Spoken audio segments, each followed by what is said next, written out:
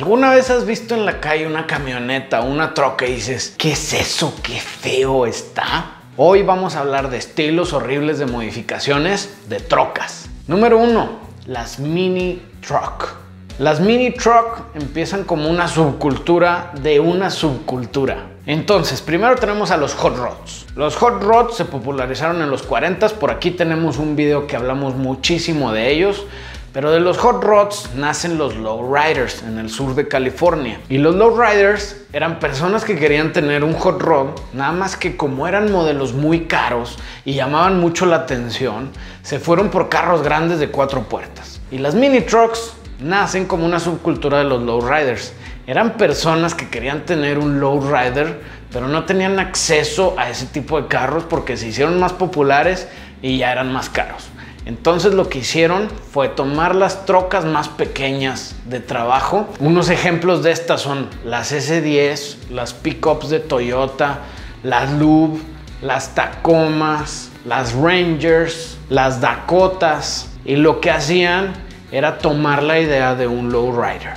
Camionetas muy, muy chaparritas con mucho estilo hay unas que se ven muy bien, no me malinterpreten, no todas me caen mal, pero hay unas ahora que están con un estilo demasiado agresivo. Le ponen cajas con hidráulica para que se levanten y den vueltas, así de loco. La otra, recortan el body de la camioneta o la carrocería para hacerla más y más y más chaparra al chasis. A veces se le salen las llantas por las polveras porque ya no tienes a dónde ir. Aparte de que ya las achaparraste con sistemas de bolsas de aire y les modificaron todo el exterior. También usan pinturas muy extravagantes. Esto igual, es, a veces se ven bien, a veces no tanto. Pero en general, las mini trucks es algo que a mí no me gusta mucho. La siguiente son las Ute. Estos son muy característicos de Australia y tienen las siglas de UTE y les dicen Ute. Así es el acentito. Y las Ute es básicamente un auto, por ejemplo, un Holden, tipo el GTO, un Holden Commodore, que le hicieron una caja en la parte de atrás.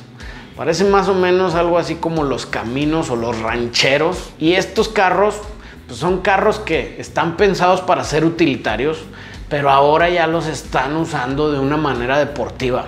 De hecho, hay varios concursos de Utes que se dedican a quemar llantas y están súper, súper locos. Ahora, otra vez, entiendo la cultura y entiendo por qué nacieron. Porque tenías un chasis o una plataforma de un carro y necesitabas una camioneta. Y está bien. El tema es que la verdad, a mí en lo personal no me gusta mucho cómo se ven los detalles de la carrocería. Y luego aparte, como los hacen deportivos, le ponen tapas de fibra de vidrio. Son súper comunes en los Utes y eso lo hace que ya no sea utilitario como una pick-up, ya no le puedes echar tantas cosas.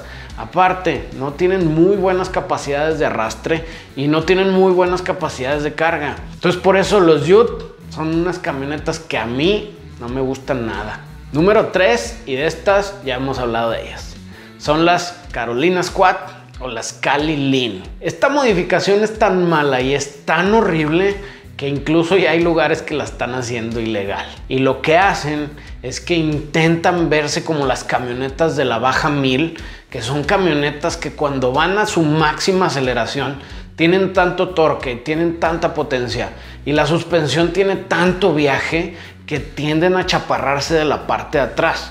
Pero esto otra vez porque están los 900 o 1000 caballos de fuerza tratando de girar esas ruedas y eso le genera presión a la suspensión a manera del torque. Entonces, a un pelado, unos dicen que empezó en California, que es lo que yo creo. Hay otras personas que dicen que empezó en Carolina. Pero el tema es que se les ocurrió instalarle a las camionetas lift kits, pero solo en la parte de adelante. Entonces las camionetas se acaban viendo chaparras de atrás, altas adelante. Ahora, vas a decir, pues sí, que haga lo que quiera, como quiera, no afecta a nadie. Pues no, sí afecta y afecta mucho por dos razones. Primero y la más fácil es que las luces está bien difícil que las puedas ajustar de manera que apunten de una manera normal y no le vayan a calar al conductor que va enfrente de ti. Pero esa es la más light. La segunda es un tema de en caso de una colisión, como la camioneta está apuntando hacia arriba, lo que va a pasar es que si chocas con un carro que es más chaparrito que tú, vas a chocar con la suspensión, entonces lo más natural va a ser que te vas a subir a ese carro y pues le quitas toda la utilidad a las defensas. Ahora, no es nada más para seguridad de la persona que está manejando la camioneta Carolina Squad, sino para la persona de adelante. O sea, tu defensa debe chocar con la otra defensa y debe de ahí compartirse el golpe y de esa manera, pues que sea más seguro. Entonces lo que haces es que sale volando y acabas chocando con el techo o con el pilar A o con el pilar C y eso es súper, súper peligroso. Por eso ya las están haciendo ilegales y aparte de que se ven horribles. Bonus número uno, porque ahora hay dos bonus. Y esta es un caso de amor y odio, la verdad. Hay unas que las odio y hay otras que me encantan. Y esta parte es una cultura que está bien interesante. Y son las trocas de los tacuaches. Generalmente de los tacuaches, las trocas que más me gustan son las camionetitas, cabina sencilla, bien deportivas, estilo un street truck. Esas me encantan. Pero hay pelados que se van al extremo le ponen los rines de 26, de 28 pulgadas con una llantita diminuta, el rin anchísimo de 15 pulgadas de ancho, tienen que recortar ejes, tienen que hacer todo un desorden que al final hace que se vean bien. Se ven muy bien las camionetas, pero yo sé en mi interior que son camionetas que no van a trabajar bien y que no se van a sentir tan bien. Así que esas trocas es algo que me gusta mucho, pero al mismo tiempo las odio. Número 4. Las lifted trucks. Y estas igual, hay muchos tipos de lifted trucks. Yo me voy a ir a las de show. Ahora que anduvimos por el SEMA, son camionetas que son súper populares y que la verdad, para mi gusto, no están tan padres. Lo que hacen es que agarran una camioneta de trabajo, la levantan lo más que se puede. O sea, a veces pies, no pulgadas. Le ponen unos rines gigantes con llantas delgaditas pero de off-road. Y al final las suspensiones las dejan cromadas, le ponen luces adentro de los rines, le ponen luces abajo de las camionetas y hacen básicamente una troca de show. Nada más que está tan alta que lo único que ves es el chasis, la suspensión y las llantas. Estas camionetas a mí se me hace que no son nada prácticas porque si quieres una camioneta alta, generalmente es para hacer algo de off-road o para poder instalar una llanta más grande. Y estos solamente quieren ser más altos para verse más altos. Ya saben el dicho que quieres. Si quieres verte más grande es porque igual y algo lo tienes chiquito. El bonus número 2, las trocas hechizas. Y está igual amor y odio, porque si lo haces bien te pueden quedar algo muy muy interesante como algunos Jeeps TJs que les hacen como pick-up que se ven muy bien. Algunas Cherokees también las he visto, Cherokee XJ que las hacen que se vean muy bien. Incluso algunos bochos los he visto que los hacen pick-ups y se ven muy bien.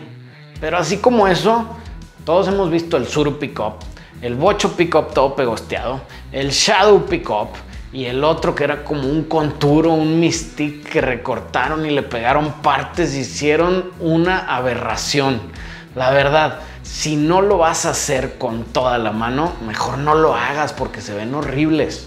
Y número uno, y este realmente son de los más feos, pero son los que tienen más sentido de toda la lista, y son los A-Tractors o A-Tractors. Estos son 100% de Suecia. Y el tema de estos carros está bien interesante, porque son carros que pueden manejar chavos desde 15 años y no necesitas licencia. ¿Y por qué dejan a los chavos de 15 años manejar estos carros? Porque tienen varias restricciones. Primero, solamente tienen dos velocidades. La transmisión tiene que ser de dos velocidades.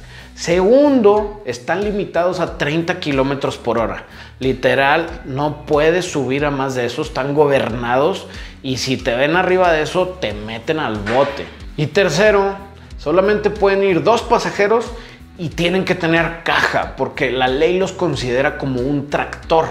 Entonces está padre la cultura porque pues los chavos de 15 años pueden empezar a aprender a manejar y como todos, cuando empiezas a manejar, empiezas a modificar. Entonces hay unos carros de estos, unos tractores de estos que están bien locos. Y luego aparte, pues eres un chavo de 15 años, entonces todo te parece una buena idea. Y por eso salen cosas que realmente a mí me parecen horribles. Pero lo padre, les digo, es la cultura de empezar a los chavos a que manejen desde jóvenes. Ahora, como siempre, esta lista es mi opinión. No quiere decir que esté bien o esté mal estas modificaciones. A menos de la Carolina Squad, que esa sí es peligrosa. Pero fuera de eso, cada quien hace lo que quiera con sus carros y se divierte con su dinero.